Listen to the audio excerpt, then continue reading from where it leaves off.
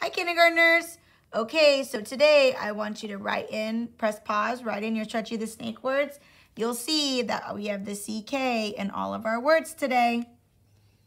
All right, when you're ready, unpause and we'll read them together. Remember, the CK just makes one sound. K. M, a, k. Mac. I think that's a word in our story today. T, a, k. And our one for our sentence today, l, a, k, luck. Mac, tuck, luck. So I want to see your best sentence using the word luck. I have really good luck. Then I practice my uppercase U's and my lowercase U's and our star words for and have.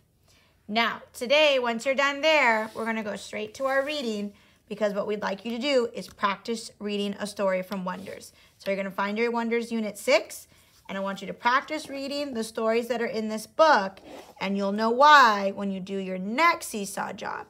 So for this seesaw job, we just want you to practice reading. Pick a story, grab your reading finger, read to yourself, read to a grown-up, and then once you feel like you've practiced enough, you'll do the next seesaw job video, and you'll know what's coming next.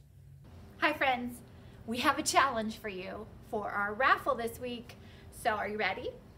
Our star word this week is for, F-O-R, like I have something for you. Your job today is to look around your house. Look on food boxes, look in a book, look on signs, and find the word for, F-O-R. When you find it, show us. I found the word for right here, F-O-R on our five star picture poster. When you find it, take a picture of it or take a video showing us where you found the word for, put it in Seesaw, and we'll put you in our raffle. Good luck!